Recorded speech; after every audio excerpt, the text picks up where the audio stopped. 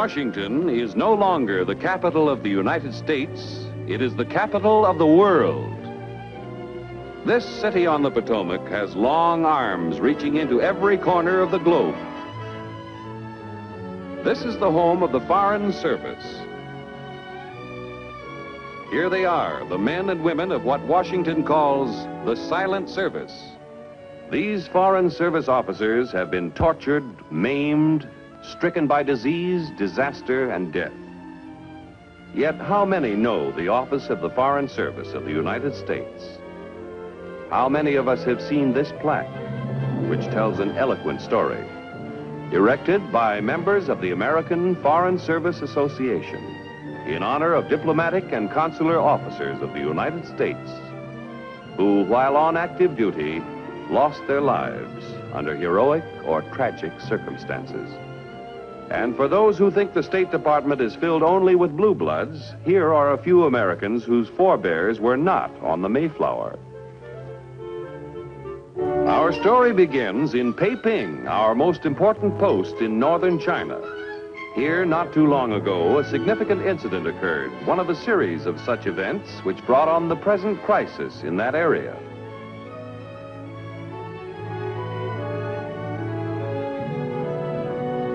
Our Peiping Consulate General was once an embassy, which is our top-ranking representation abroad. Then it became a legation, when the capital of China was moved to Nanking. Now it's a consulate general of even less diplomatic importance on the official books. But actually, Peiping is one of our few important listening posts in turbulent North China. A vice consul just brought in restricted and top secret mail. A consul general doesn't handle it all himself. In a large consulate general, he couldn't. That's why he has a staff of vice consuls assistants, and attaches, each an expert in a specialized field. Like any other business, the government business of maintaining representation in a foreign land is a complicated one. The consul is concerned with vital statistics. Here, he registers a birth to an American couple. He sometimes is present at weddings of his countrymen, of which he officially takes note. Here is an American citizen, a fur buyer, who spends lonely months on trading expeditions into North China. During his travels, he has picked up some information which he feels is valuable to his country.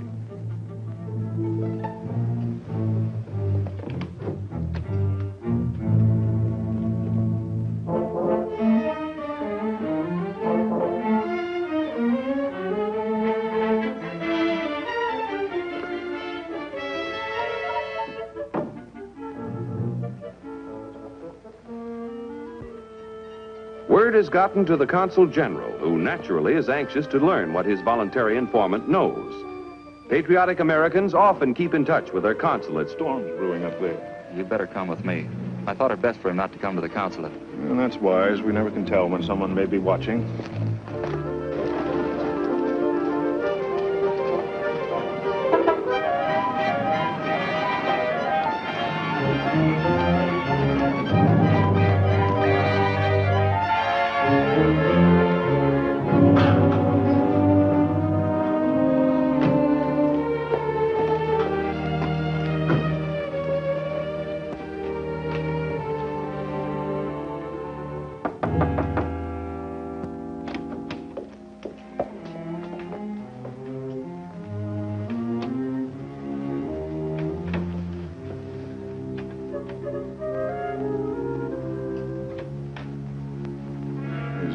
His tongue's been cut out. The second victim. Exactly the same pattern.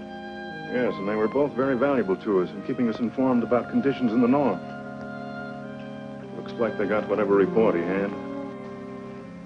I don't like the way things are shaping up. The way the Iron Curtain's being lowered between us and the north. Trans-Asiatic transport suspended all flights. Guerrillas have been reported just outside the city. It all adds up to something very important. I think I'd better inform Washington. Agree. The situation is beginning to follow a pattern. Not many listening posts left up there, and we can't afford not to know what goes on. We need more help. May have to call on you for another man. I think I'll have the right man for you, providing he keeps up the good work. He's Going through his training right now. Good. You know what we want.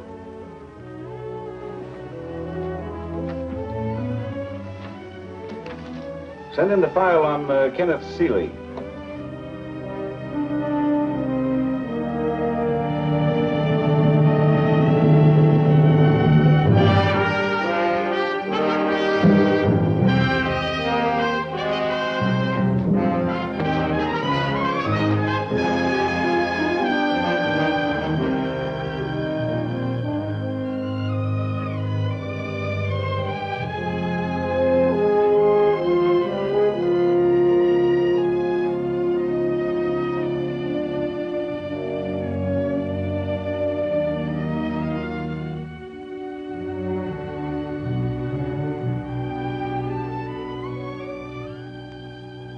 Mr. Seeley, you've undoubtedly heard much criticism about our methods of court-martial.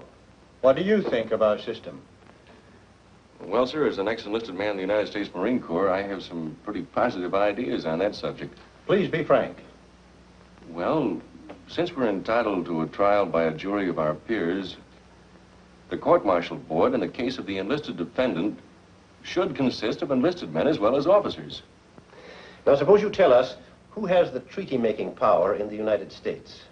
The, uh, the president, but it must be ratified by the Senate. Mr. Seeley, what was the main French supply of fuel during the last war? This is a stiff oral test Ken is taking, a test not many people could pass.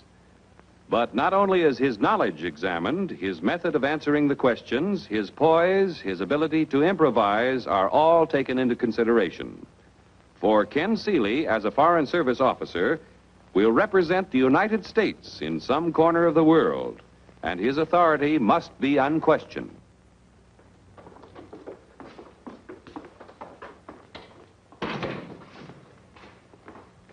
Oh, I'm Excuse sorry. me. Hello. Were you uh, taking an exam, too? No, not quite. I was just waiting for a decision. Oh, about being a Foreign Service officer? Well, not exactly. I asked for a special job. well, uh, uh, Miss, uh, uh, Margaret Walden. How do you do? I'm Ken Seeley. How do you do? I'm a would-be Foreign Service officer. I just went through the third degree. Same here. I tried to sell my chief on a new idea. Oh? Well, why don't you tell me about it over lunch? Well, I don't know. I, I'm uh, just following instructions, Miss Walden. I was told to go someplace and relax, and I was never very good at relaxing alone. Mm. Well, why don't you invite me and see what happens? Well, you're invited, ma'am. I know just the place, too. It's across the Potomac. Well, I, I think I ought to go home and freshen up a bit. Well, fine. I'll pick you up in about an hour. I'll be ready. Right. Oh, wait, wait, Miss Walden. Well, Miss Walden, what's your address? Where do I pick you up? Number six, Barney Circle, southeast. Number six, Barney Circle, southeast. Thanks, Bill.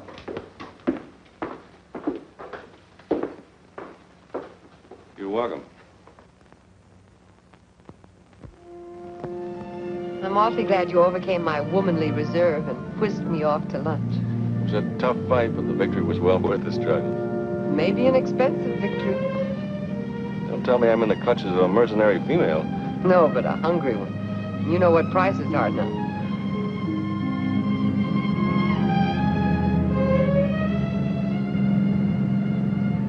Are you looking for something? You're going to be such an expensive date, I may need that dollar that Washington tossed over the Potomac. Oh, you're too late. The income tax men beat you to it a long time ago.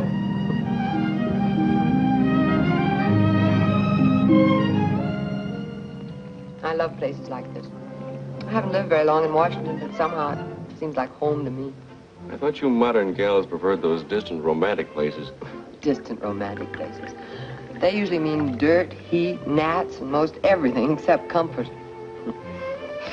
You know, you sound like an ex-Marine, too. Tell me about your assignment. Or is that top secret? No. Just isn't very easy to explain. Do you care for anything else? No, nothing else right now, thank you. What makes it so hard to explain? Well, it's a matter of morale.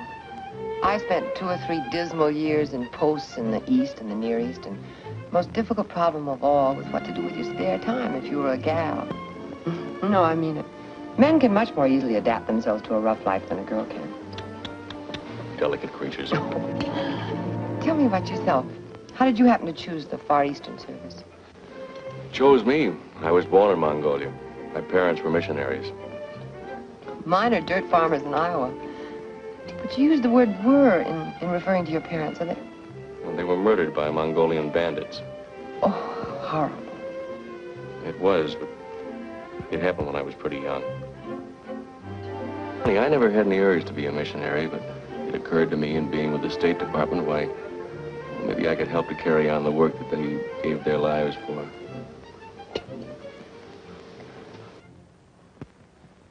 Passing the stiff written and oral examinations was just the first step in becoming a Foreign Service officer. Now he must go through an intensive course of indoctrination, learning Foreign Service history and customs, cryptology and the preparing and unraveling of codes, language, ports and exports, commerce, shipping, visas, international law, psychology, and all the various subjects that add up to diplomacy. A full day in the Institute is not enough. At home,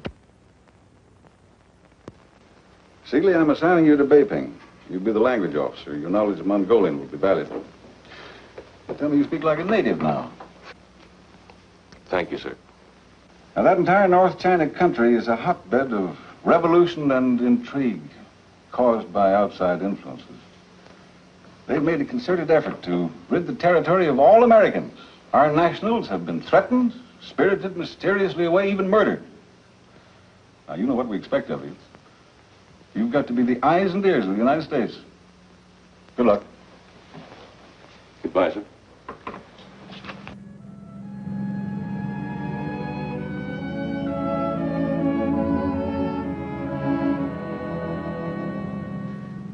What a perfect day. Uh-huh. Well, what a long face.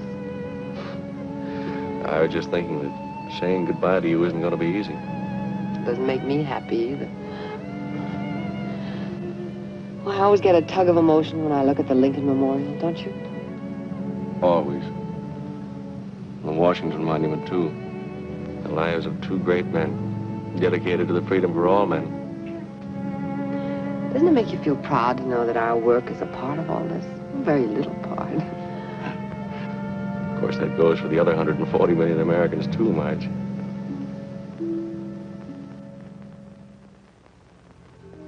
So long, fellas. Stay away from those blondes in Stockholm. inflation money. I'll see you in front of the Iron Curtain, gentlemen. Okay.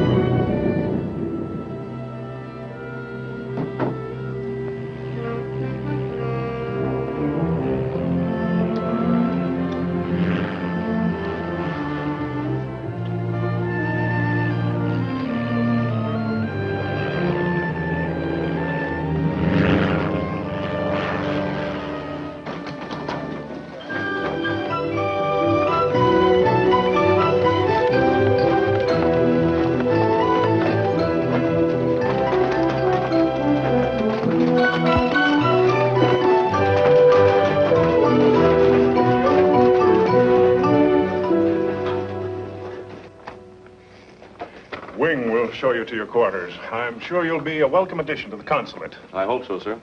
Wing, will you show Mr. Seeley to his rooms, please? Yes, sir. And you will soon be launched into the social world.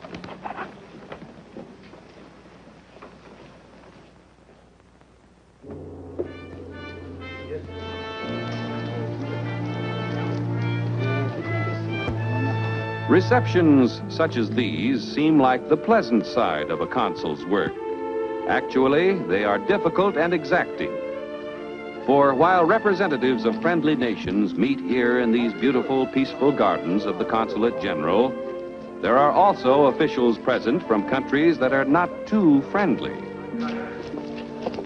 Oh, Mr. Hote, I'd like you to meet my new language officer, Kenneth Seeley. How do you do? Mr. Seeley will be attached to this post and will probably see a good deal of you. It will be a pleasure, Mr. Seeley. Thank you.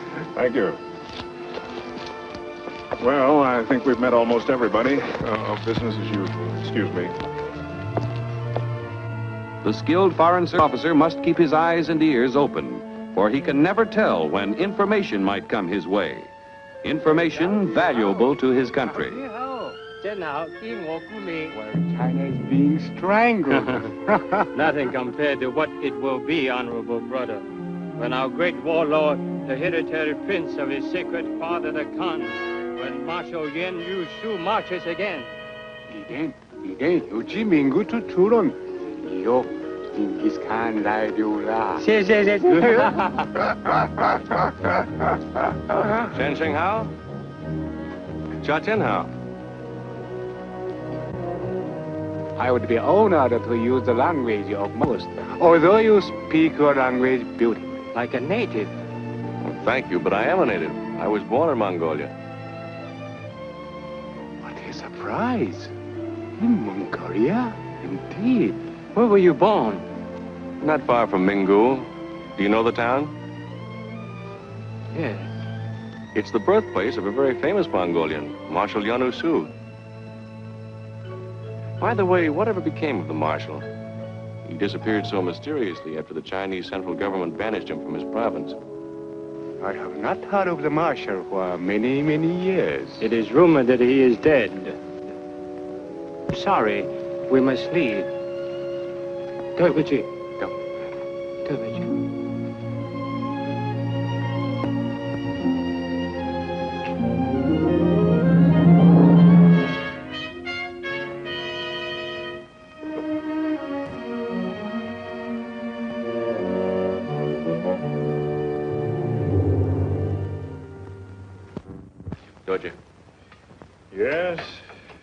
Might have been the liquor talking, and then again it might not. Mongolians are apt to be boastful in their cups, and they're not used to our fiery Western liquor. Well, now it's beginning to add up. The murder of those Americans and the, uh... Which was never solved. Well, sir, whatever is brewing, it must concern Mingu and Marshal Yanu Su. And, of course, the State Department. Yunu Su, that's a sinister name in North China. His father was the old school of warlord, you know, fire and sword, take everything, give nothing. Fortunately, he died during the plague. But this Yunu Su is a very smooth article. Yes, I'd say it was a highly explosive situation. I was here during the anti-foreign riots of 1922. I sincerely hope that no irresponsible leader starts another massacre. Why, you were the victim of one yourself. Yes, my parents. Must have made a terrible impression on you as a child. It did. For a long time, I never wanted to come back to China. Now, I'm glad I'm back. Maybe it's because I have a feeling of unfinished business, something I have to see through. Uh, excuse me. Hello? Yes? Yes? Oh, uh, I'll be right there. That was the chief of police. He wants us to identify two bodies, Mongolians. Says he has reason to believe they were at our reception this afternoon.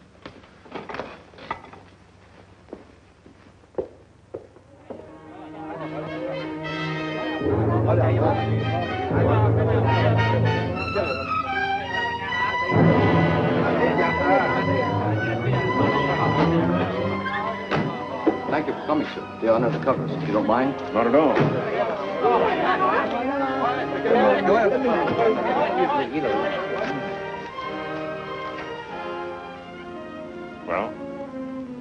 Same men who were at your party. The men who talk too much. Ah, that explains it. What? Cut out. Come on, kid. Just point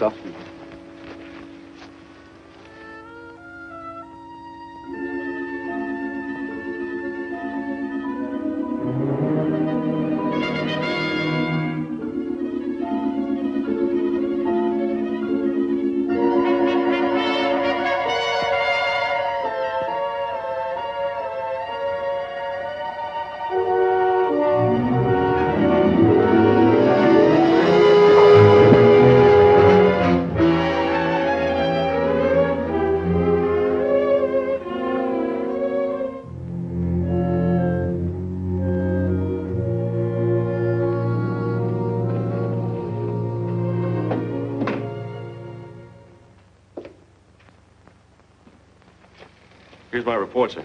Oh, thanks. I'll send it along with mine. Uh, sit down a moment. I sent a summary of the situation to Washington. When I talked to the ambassador in Nanking this morning, he asked me to.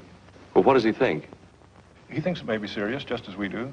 Uh, say, I don't like that window episode last night. You might have been killed. Yes, I know. That wouldn't be so good for the government. They'd be out the cost of my training. Well, it's nothing to do but wait. We'll hear from Washington soon enough. Cigarette, sir? Oh, no, thanks. Kenneth Seeley will be attached to Mingu Consulate as vice consul. He will proceed at once, but not give the impression of haste. Suggested he take the next plane carrying diplomatic courier. This is a tough assignment, Seeley. If the trouble going on up there spills over, you'll have to be the Army, Navy, and Marine Corps all rolled into one. But anyway, get at the bottom of what's going on. I understand, sir.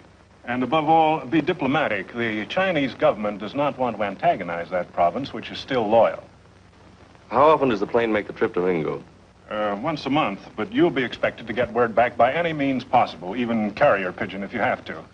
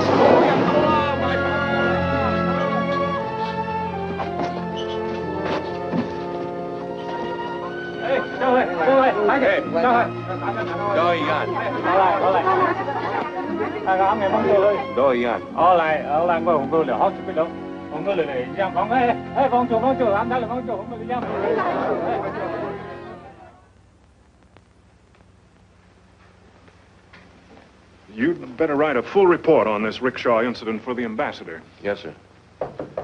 Yes? Sorry to interrupt, Mr. Reither, but they want you in the radio room right away. I'll be right there. You might as well come along.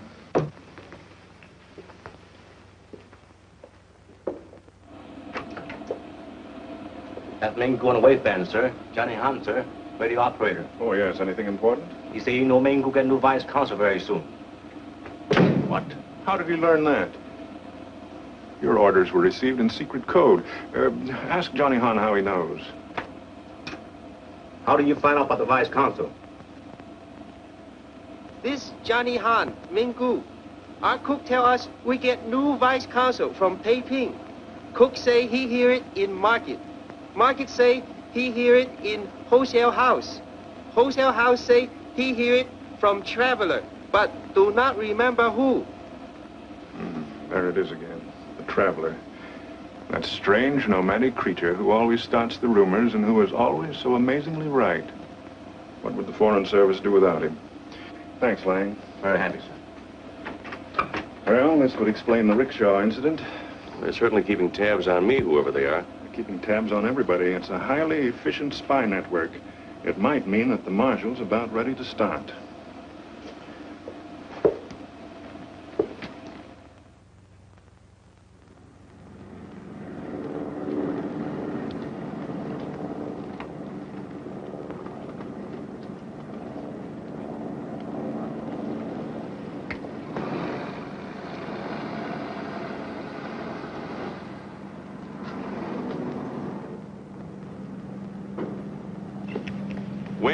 Bags aboard, please?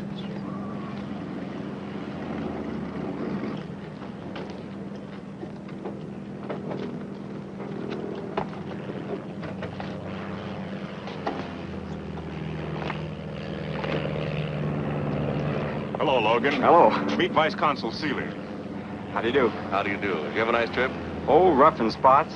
Didn't bother me any, but I think our other passenger wasn't too happy.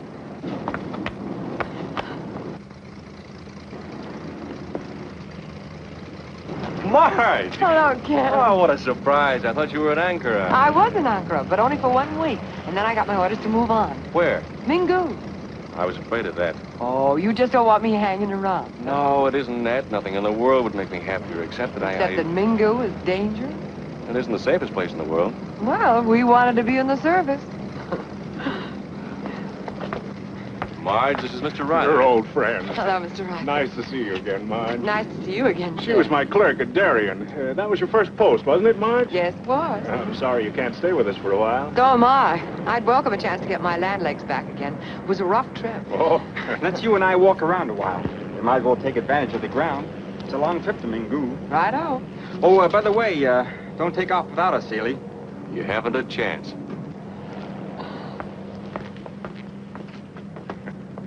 Isn't it risky sending a woman to that territory? Oh, my dear boy, there's several American women there already, and that's why she's being sent. Anyway, Marge can take care of herself. I happen to know.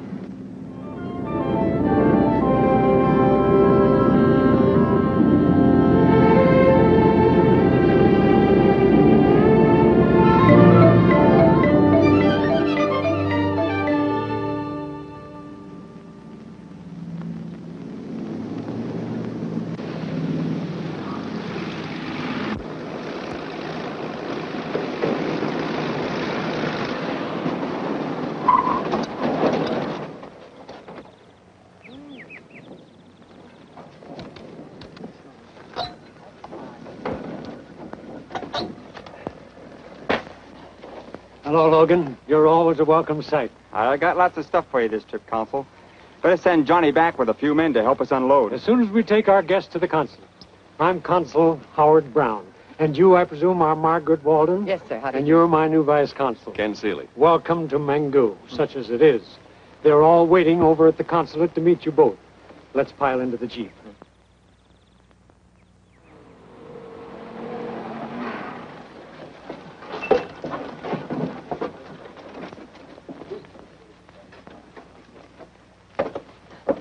Johnny, get a couple of boys and go out to the airport and bring that stuff back. Yes, sir.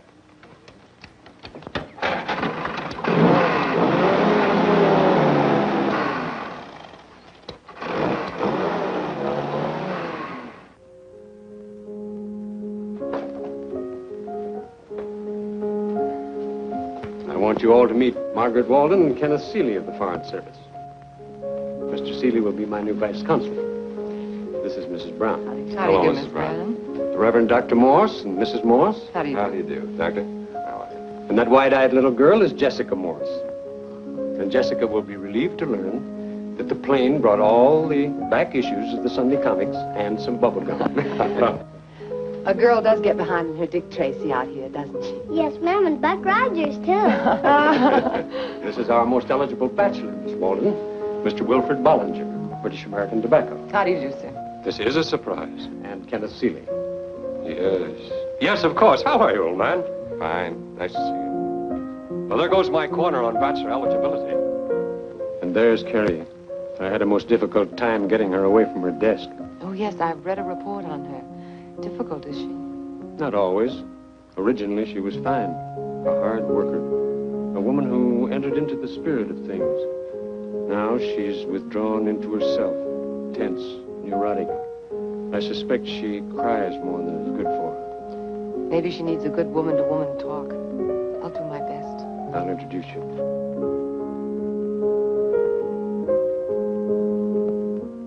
Carrie, I want you to meet Margaret Walden from Washington. My replacement. You wrote Washington for another clerk? How could you do that, sir? Not at all, Miss Willoughby. I'm just here on a visit. I'm sorry. I'll leave you two ladies alone. Excuse me.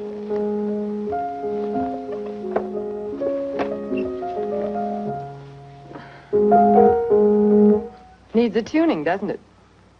You didn't come here to take my job, did you? I'd hate to leave. A failure. I'd kill myself first. Oh, you do nothing of the sort. Besides, you're decidedly not a failure. As a matter of fact, this happens to be a post where the clerical work is quite superior. Is it? Is that what they think in Washington? Well, I'm afraid you'd be very conceited if I told you all the nice things I've heard about your work. So you see? Really? Thank you. I think you'll find this comfortable, Seeley. Johnny Hahn will look after you. Your office. Well, this is all very nice, sir. How do the women manage? Well, Carrie lives with the Morses. Miss Walden will have a spare room in their house. You'll be here alone with Johnny and his flock of invisible servants. I never did find out just how many he's got. Don't be alarmed if you're awakened by the most harrowing squealing and squeaking noises. Johnny's a radio ham and will get up at all hours to communicate with such maniacs. I imagine it comes in handy insofar as keeping in touch with the, uh, the outside world is concerned. Yeah. He should be able to pick up some pretty valuable information, too. On the contrary, there's a peculiar, ominous quiet over the territory. I can't put my finger on it, but I can feel it. It worries me because this town is the only listening post we have left in the territory. A wave of aggression might be brewing, and we wouldn't find out about it until it's too late. Well, you're tired. We'll discuss it more thoroughly at dinner. Yes, sir.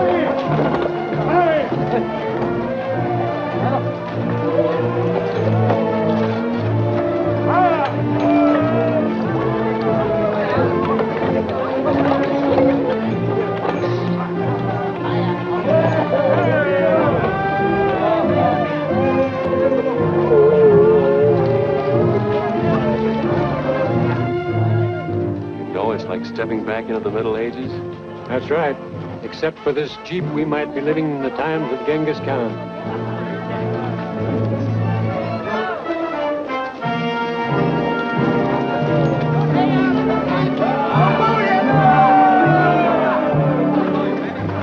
Except for those firearms. Yes, yes, the caravans have been carrying some pretty modern weapons lately. Automatics, machine guns. They say it's better protection against the bandits.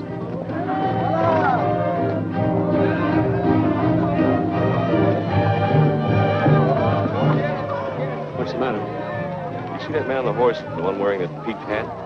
Oh, yes. What about him? I wouldn't swear to it, but I think I saw him at the consular party at Peiping. Wonder what he's doing here. I don't know, but we'll find out soon enough. Well, we'd better get to the field and see Logan off.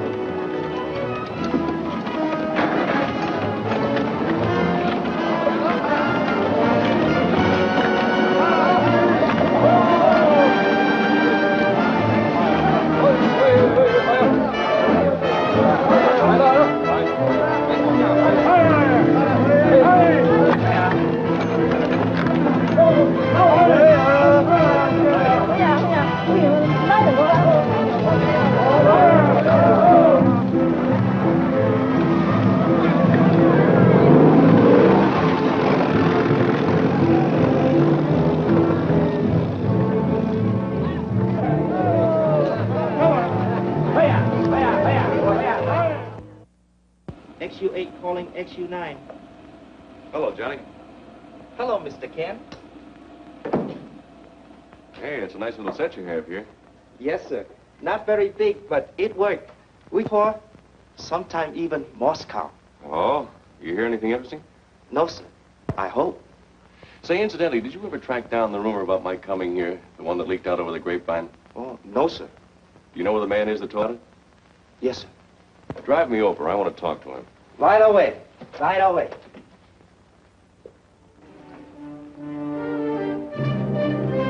When caravan come to town, town is jumping. All same like they say over radio.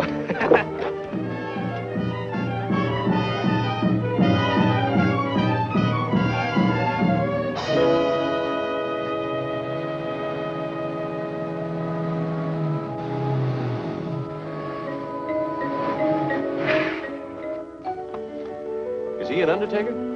oh, yes, sir. He also chief elder of council. All same uh, mayor of city. Big shot, huh?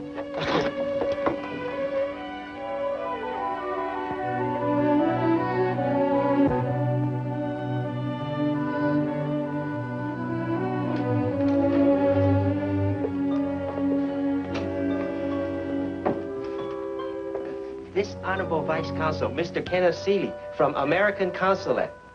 Mr. Wanto. How do you do? I'm honored, sir. I understand you knew I was coming here before it was officially announced. Do you mind telling me how you found out about it? 你在此地等一等啊，谢谢，不要客气。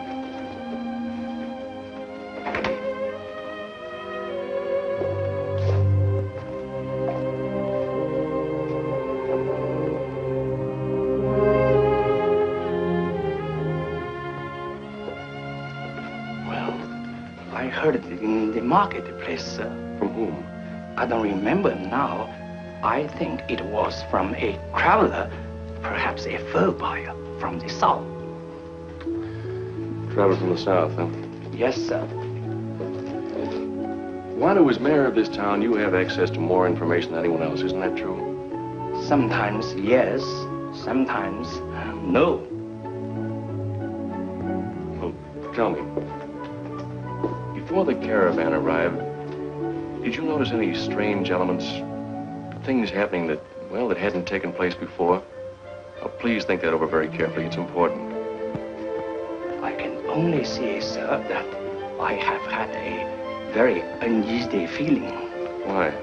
Because there have been too many strangers here lately. But you still can't tell me where that rumor originated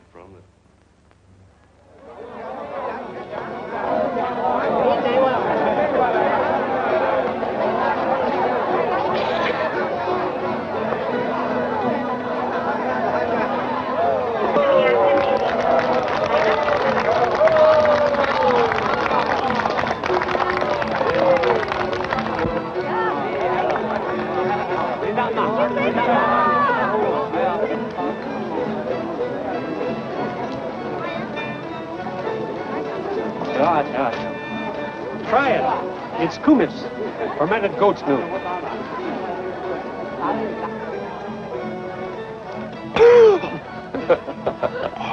goat must have left her hoof in this. ah, you know, 大欠。Yeah.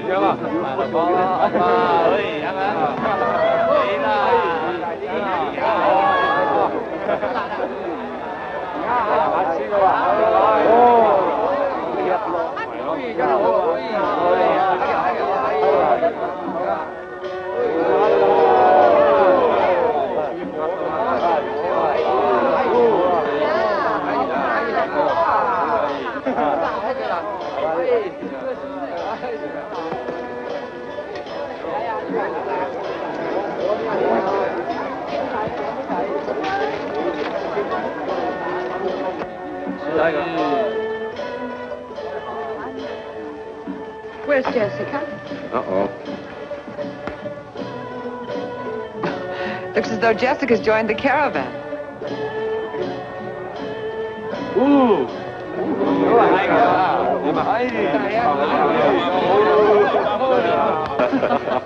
It's time for us to leave, dear. I'm afraid it is. Excuse us, please. Righto.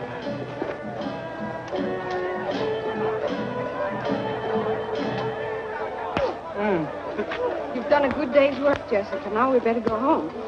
Oh, gee, right when he was going to teach me how to eat fire.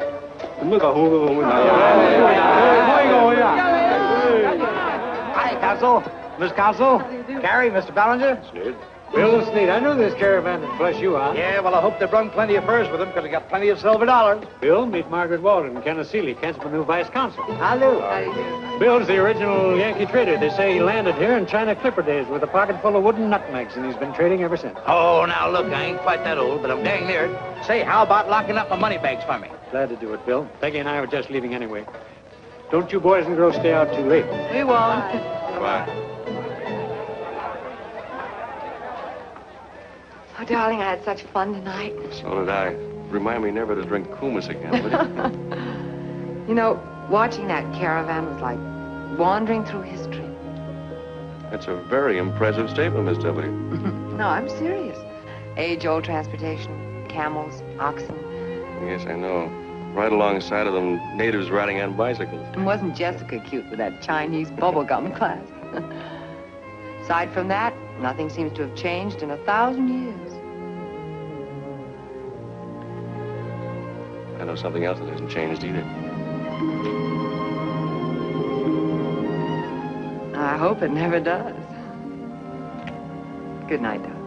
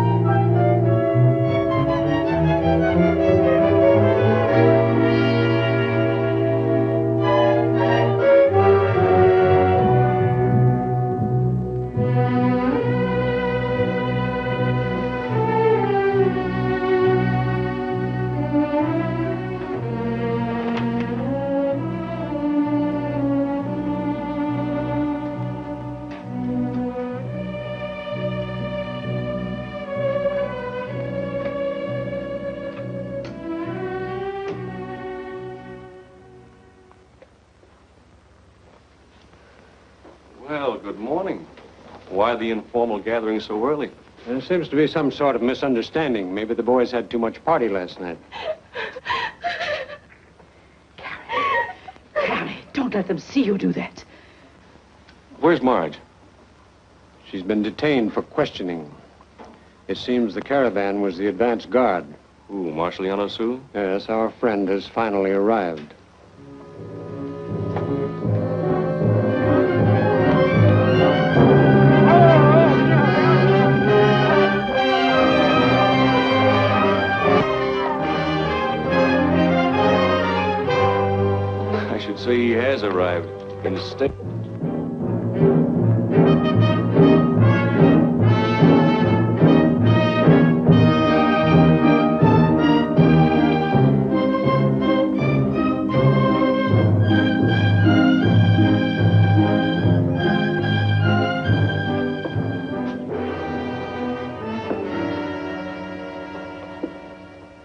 Wodivani her Kuguan, Colonel Aram.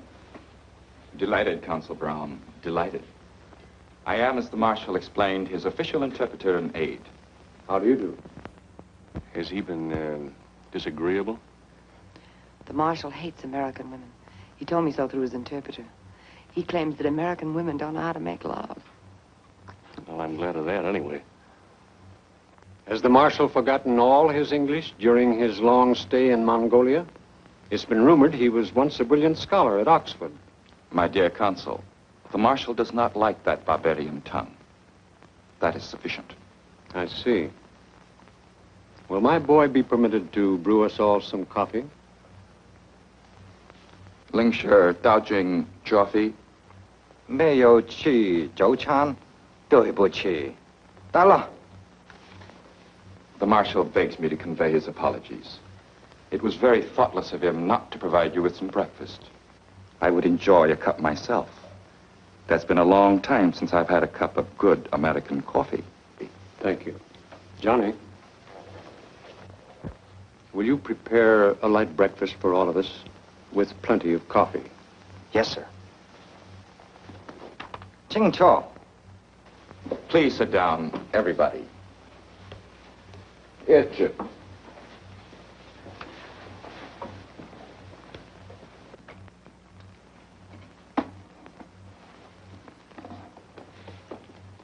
The Marshal regrets the inconvenience, but it will be necessary for the Americans and Mr. Bellinger to remain in the consulate night and day.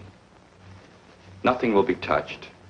No one will be harmed if his orders are obeyed implicitly. There will be a guard around the consulate until we decide to withdraw. And when will that be, Colonel? Maybe one week, maybe two weeks. The Marshal, of course, realizes he's on American soil when he enters this property. Ling Shi, sir. This is Mongolian soil, Consul. My father was prince of this province. I was forced into exile, but now I'm back. For a week or two? Perhaps, or... Oh, perhaps to stay. Hey, let go of me.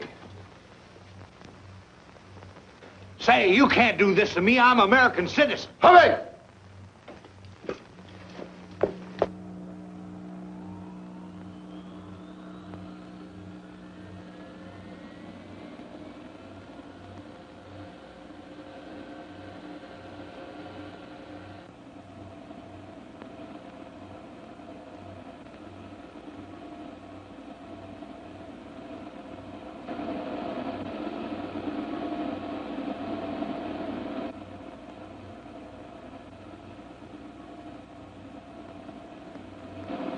Hello, hello, Nanking. This Mangu. Hello, Nanking. This Mangu.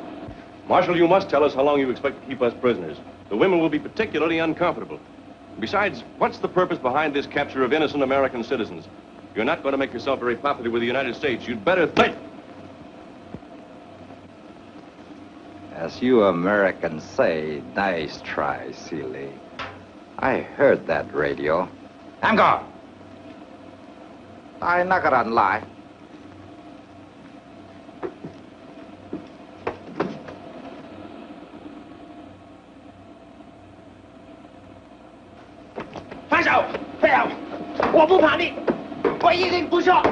放手！放手！站住！放手！岂有此理！你是不是中国人？没有脑筋，没有脸皮，是不是？没有脑筋。来一把杀手！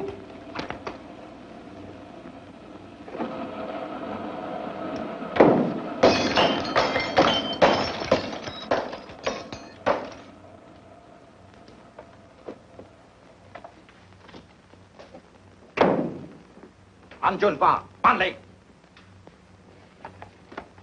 The Marshal is very angry. He has broken your radio. Now, to make sure that it cannot be fixed and used by your radio operator, he has given me another order. Dinaran, Dao, Tianfeng. Just a minute. This man is in the consulate employ. He's under the protection of the American flag. Leave him alone. Kanto! Kengning Shengbi! Tadachu! When the marshal gives an order, it is obeyed.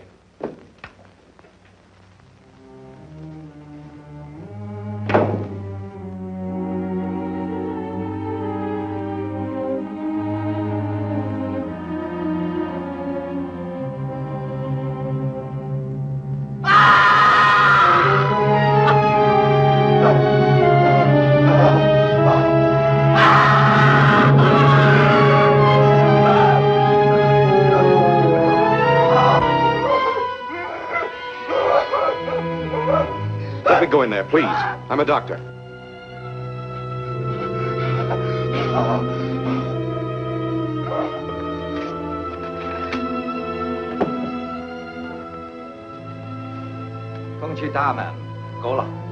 The Marshal is very annoyed at what has happened. He is now returning to headquarters. Remember, ladies and gentlemen, no one will be hurt, nothing will be touched, if... if our orders are obeyed implicitly. 走吧。Wait. Better let Reverend Morris go in first, May I take Sarah with me? if you think you should. Come along, Sarah.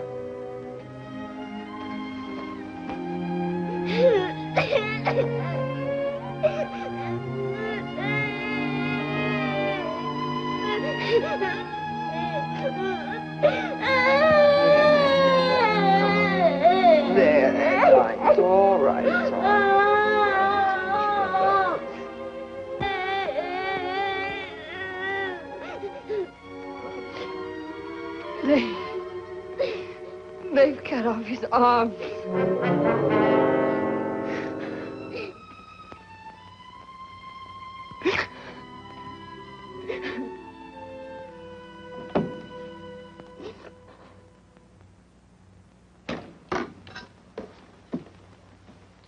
The Vice Consul insists upon seeing you. He's outside. Under guard, of course. 什么东西？带他来。 Come in, Seeley.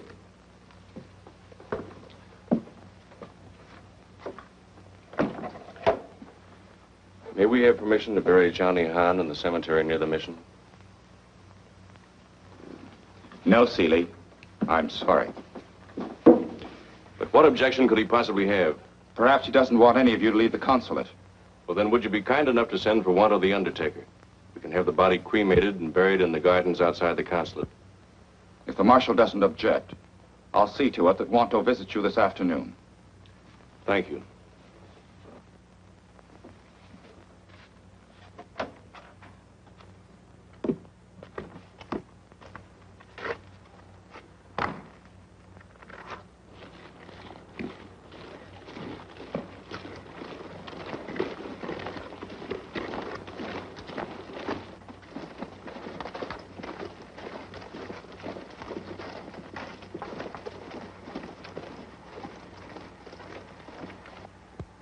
These people are under arrest, I assume.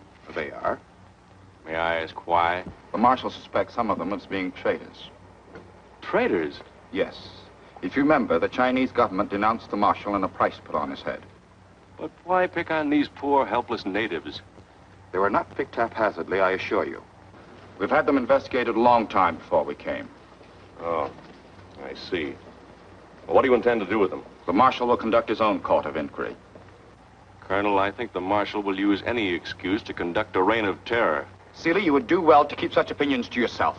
Please march.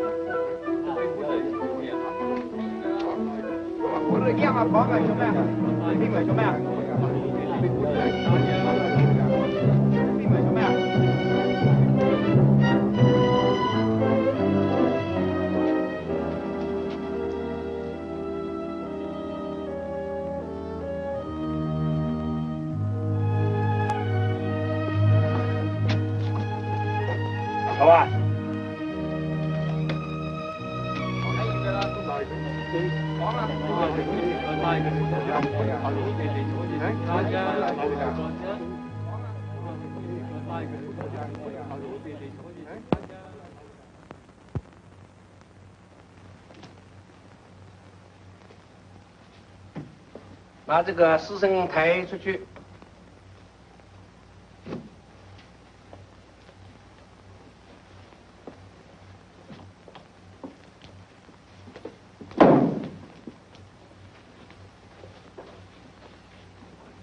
After you cremate him, Wanto, return the ashes here to the consulate.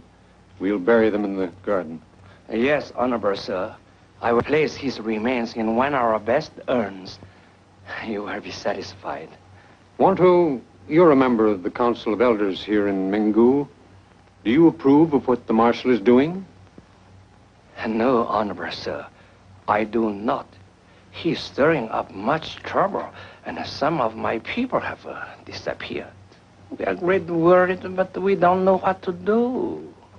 Wanto, were you present when they rounded up the people who disappeared? Yes, once at the tea room, and once I watched from behind the curtains of my shop. The soldiers came, drag out innocent men.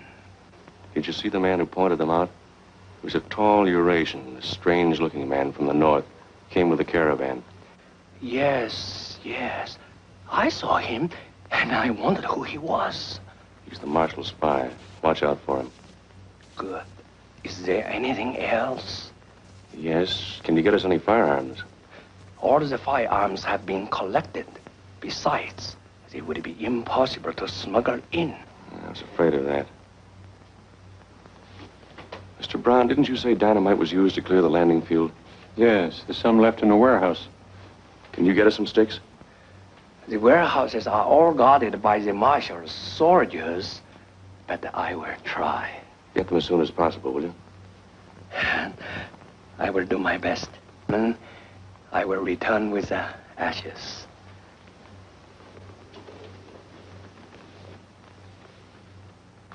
What's on your mind, Ken? I'm not sure yet, but with a few sticks of dynamite, and if things get worse... Things I- are getting worse. The Marshal's campaign has begun. It looks like a sort of squeeze play. Yes, I know. He's obviously using us in his dirty game of politics. If the Generalissimo gives him the nod and lets him have his province, why, he'll deliver us unharmed. Now, which will make him a hero. Exactly. And if he's refused, he'll turn us over as hostages to his friends in the north. And that'll make him a hero to them. Just an old warlord custom, playing both ends against the middle. And we're definitely in the middle. Well, let's take a look at that radio set.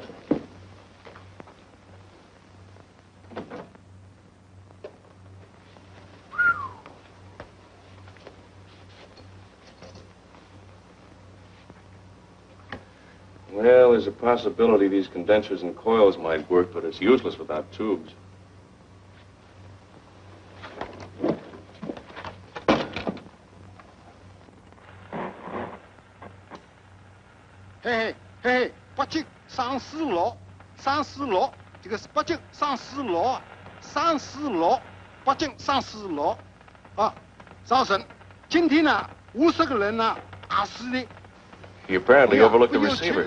We can at least hear Nanking and Peiping. What the Marshal doesn't realize is that our radio silence will eventually arouse the suspicion of the embassy. I was thinking the same thing. But with things happening as fast as they are, eventually it might be too late.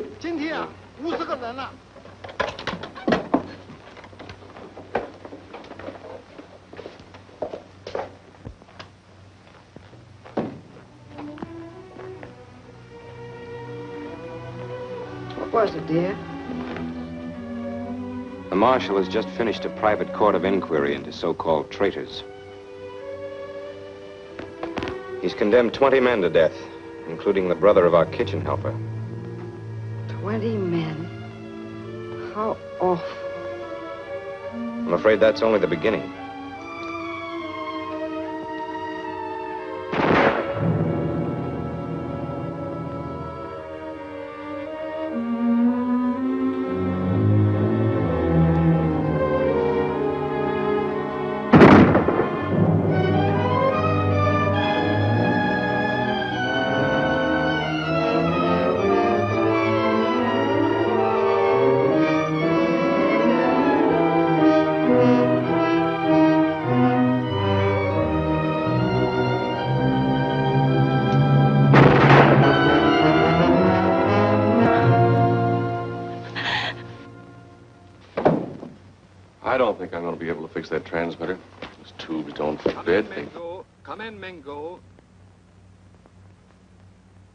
Come in, Mingu. Come in, Mingu. This is the American Embassy in Nanking. Come in, please. Come in, Mingu. Calling the consulate at Mingu. Embassy at Nanking calling the consulate at Mingu. Come in, please. Come in, Mingu. Nanking calling Mingu. Hello, hello, Peiping. Last report from Johnny Hahn said he was going off the air to change tubes and make adjustments. He's had time to repair his set. Something may be wrong. If we don't hear from the Mingu consulate within 24 hours, we will send plane to investigate. We do not wish a plane to come here.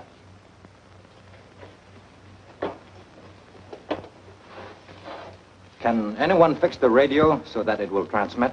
I was the only one in the consulate. And how about you? I never did know very much about radio. I think you are lying, and I have ways of finding out the truth. Send for Amgor. Wait a minute. I think I can fix the radio if there were some more tubes available. Do you know whether there are any extra tubes? There might be some in the warehouse.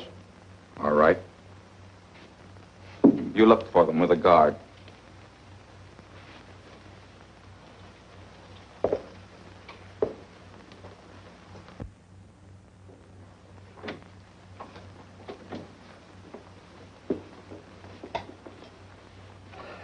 the urn with the ashes, Honorable Sir. Thank you. You're late. We were worried. We were late because we have filled the request of the other honorable gentleman. Johnny Hahn has not died in vain.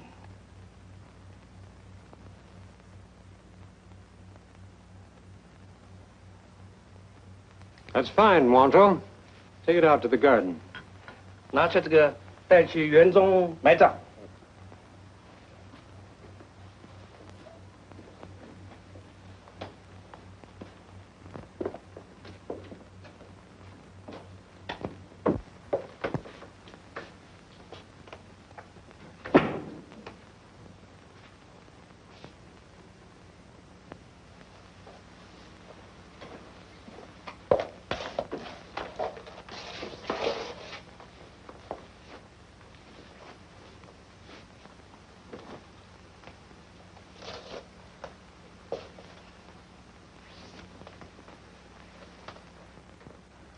Father, we commend to thy care the soul of Johnny Hahn, the noble spirit of one of thy children who died in agony like thy son, so that we on earth might take courage and inspiration from his sacrifice. May he rest in peace. Amen. Amen. Hey,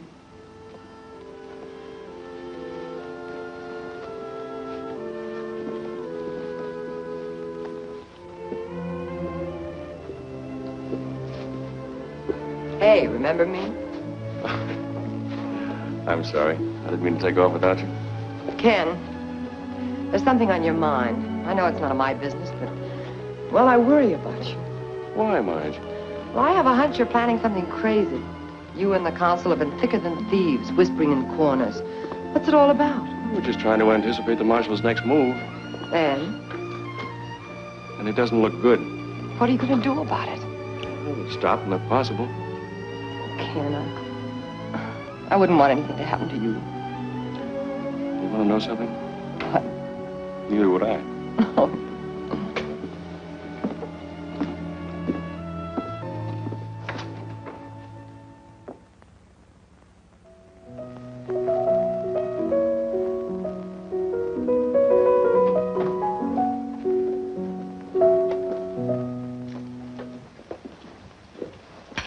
Please don't stop playing, Miss Walden.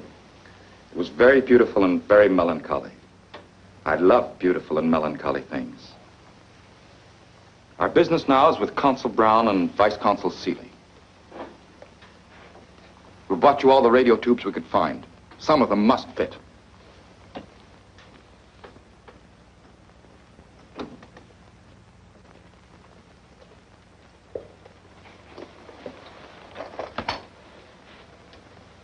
Go to work.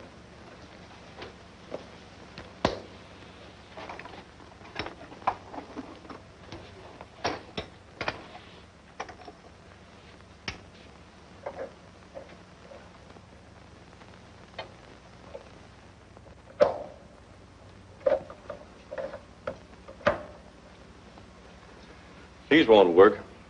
When Johnny Hahn changed over the set, a special size was required. These are old ones. And besides, they're no good anyway. If a plane is sent here, it will be shot down. There will be more planes. If they get to be a nuisance, we know how to be a bigger nuisance. Unless. Unless what? Unless the Chinese central government meets my terms. And may I inquire what those terms are? I shall set up a government here. With yourself as prince? My father was the prince. His title and prerogatives are hereditary. And would the prince maintain a government here for the people? Or would he play ball with his friends in the north? That is his affair. Well, suppose he's turned down by the Chinese central government. They will be very sorry. They will not only lose the province, but the marshal's valued friendship. I would like very much to query Nanking on that. So would we. But how? I think I know where there are some tubes. Judging by the antenna, there's a large radio set in the marshal's trailer. Those tubes might very well fit this set. Can they be replaced in his radio after they are used? Certainly.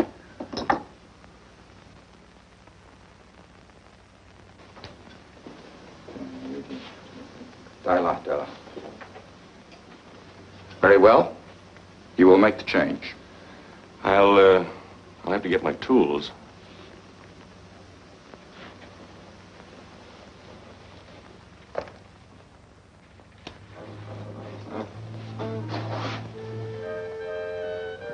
It's a pretty nice house on wheels the marshal's got for himself. Who built it for him? Who do you suppose? Please hurry.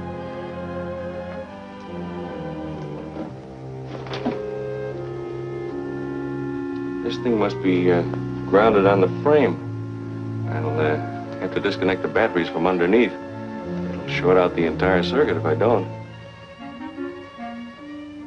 Go ahead.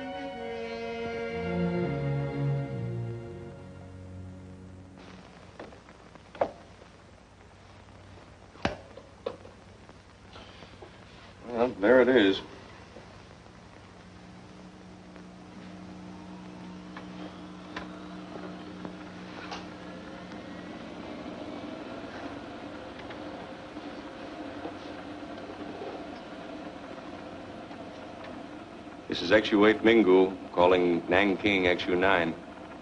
This is XU8 Mingu calling Nanking XU9. Come in, Mingu. This is Nanking. Come in, Mingu. Tell him all is well here. Nothing else. Understand? Hello, Nanking. This is Vice Consul Ken Seeley.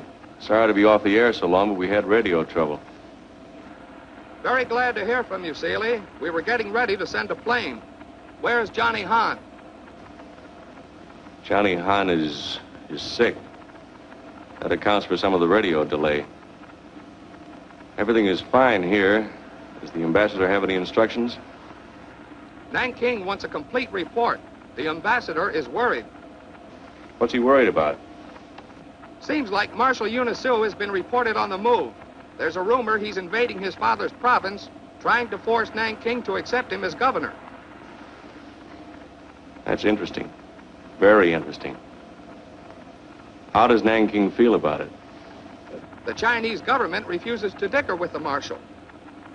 They say he's a traitor and orders are to kill or capture him on sight.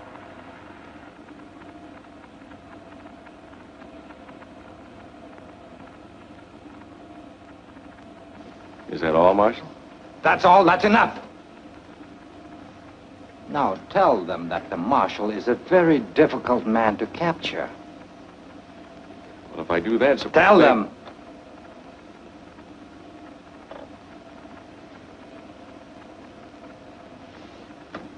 What was that? Who's there? Did you say Marshal? Is that Marshal Unisu? We don't like this silence. Something's up. Are you talking under duress? Answer us. Is Marshal Unisu there? No. Now remove the tubes and replace them in my trailer.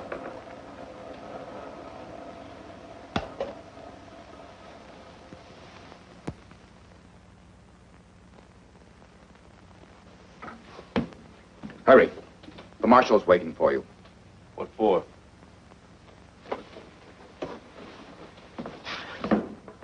This country belongs to my illustrious family, and I have been more than patient with you. You will all learn how I reward any stupid attempt to make a fool of me. What's happened? The Marshal has been predicting what might happen to us. It seems that little slip of yours on the air distressed him very much.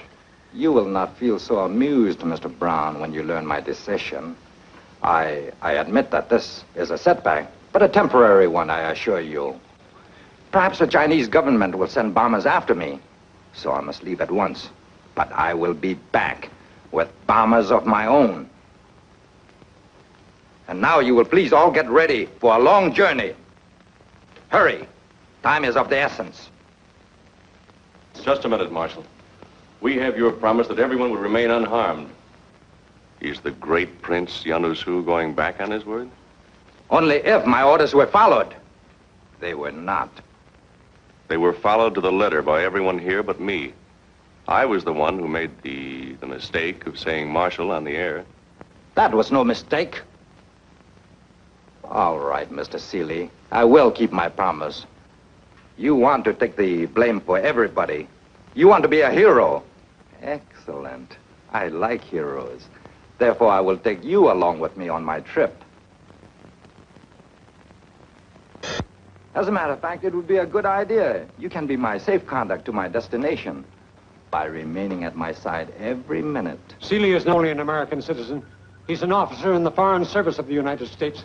So, do you expect me to completely ignore the fact that I have been tricked by this man? You know me better than that, Consul.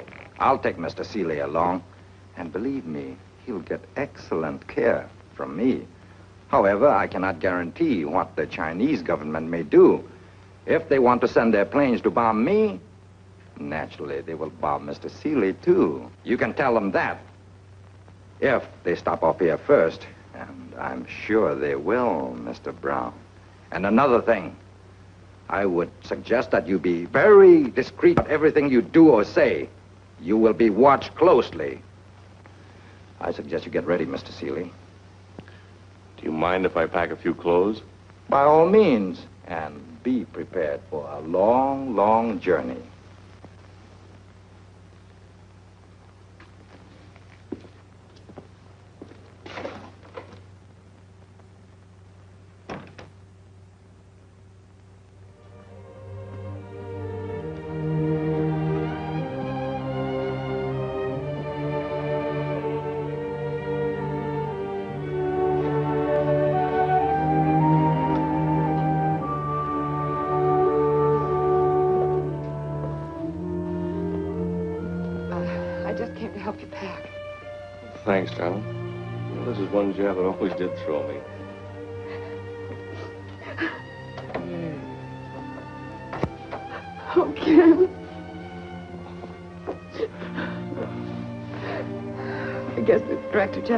Be very proud of me now, would he? Yeah, the Director General isn't in love with you either. Been terribly frightened for you. This thing isn't as bad as it looks. Besides, I think the Marshal's bluffing anyway. Incidentally, tell the castle that some of those discarded tubes do fit so we can talk to Nanking.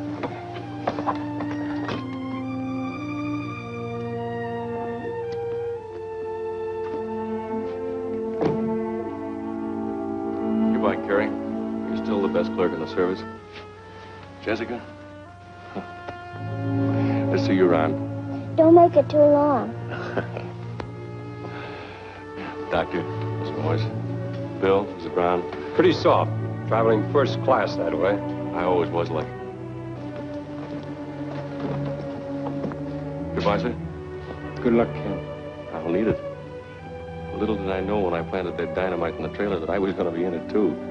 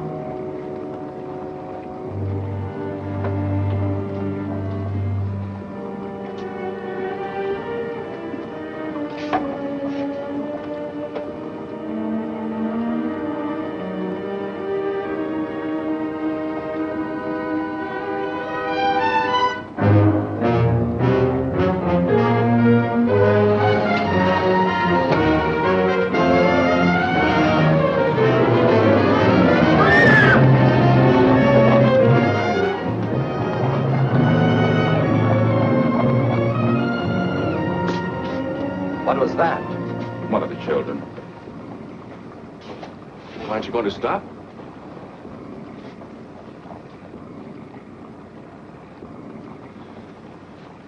One of those bombers may stop you, Marshal. Not when they learn that you're taking the trip with me. You see, the difference between people like you and me and Aram here. Americans are sentimentalists. They wouldn't have you harmed for anything in the world. But as for me, I wouldn't hesitate a moment. Nor would the Colonel. After all, you're not important. Just another vice consul. There are many in your foreign service. But I am a prince. And the world may again face another conqueror from Mongolia. It took 700 years for the Mongols to develop another potential Genghis Khan. Thank you. Perhaps if you died, it would take 700 years to develop another threat to world peace. Here. You're a dangerous man, Marshal. Yes, and even you don't know how dangerous. You see, Mr. Seeley, you forced my hand with that radio trick. I was going to take my time, look the situation over, perhaps get what I wanted by peaceful means. Peaceful means. Yes. The Mongolians are my people. They would have seen it my way after a while. Now I will have to declare war openly. Maybe I'll make that prediction come true. The one about the golden hordes of the East overrunning the earth. They're waiting for me now up north. An army with full equipment. Tanks, artillery, bombers. All I have to do is give the word. You mean they won't march without you? No. I am their leader. Without me, they're nothing but a rabble. Without a plan or purpose. You know, you're right, Marshal. I am just a vice consul, dime a dozen. If I die, there are lots of others to take my place. But if you die, there's no one else to take your place. Exactly.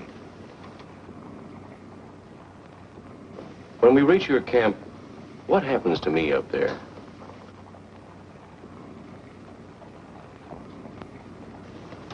The colonel seems amused. Let's all have a good time. Why not turn on the radio? Colonel Aram here likes melancholy music. Good idea. I was wondering if that radio was fixed.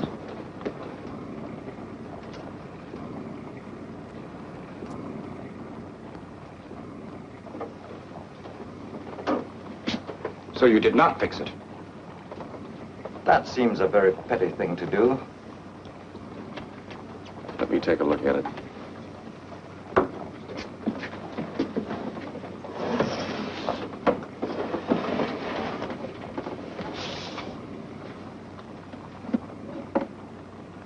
Trouble.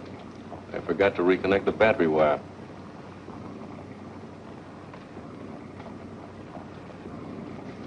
A smart man like you should have been on the winning side. I am on the winning side, Marshal. I represent an ideology that recognizes the the dignity of the individual, that holds all men to be free and equal under God. You represent murder and rape and slavery in the name of the law. You're a mad dog that must and will be destroyed. You are a fool to speak